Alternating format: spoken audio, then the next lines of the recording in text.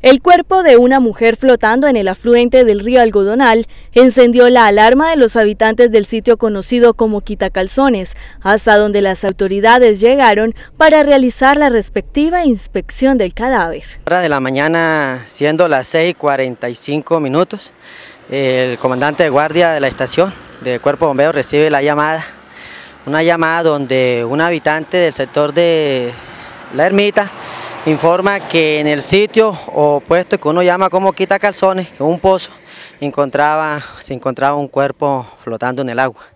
Eh, enseguida nos dirigimos al sitio para hacer la recuperación del cuerpo. Eh, llega al centro automático de despacho, es así donde se desplaza lo que es el grupo de investigación criminal, con lo que tiene que ver eh, unir Ocaña, el cual pues en este momento se, encuentra realizando los actos urgentes con el fin de, esclarecer eh, la situación eh, de este cuerpo sin vida.